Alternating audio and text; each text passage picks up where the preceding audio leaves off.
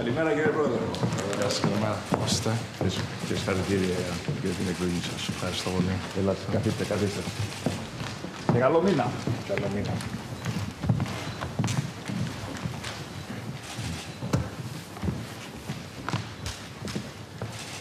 Εφαρμοστήκατε στους καινούριους φόρους.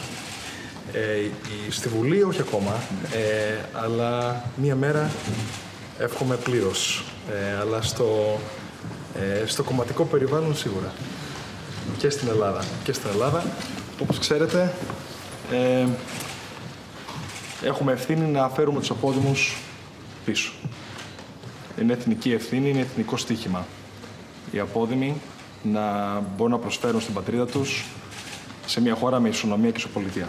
Έχουμε κάνει μια καλή αρχή με το νομοσχέδιο το οποίο δίνει πια τη δυνατότητα σε όλους τους Έλληνες που είναι εγγεγραμμένοι σε εκλογικούς καταλόγους της πατρίδας μας ε, και κατοικούν στο εξωτερικό να ψηφίσουν από το μόνιμο τόπο ε, διαμονής τους και νομίζω ότι σε αυτό τουλάχιστον έχουμε ένα εθνικό χρέος όλα τα κόμματα να κινητοποιήσουμε Ναι, αλλά τους αυτό είναι Έλληνες δικαίωμα, αυτούς. είναι δικαίωμα στο εκλέγει και όχι στο εκλέγεστε.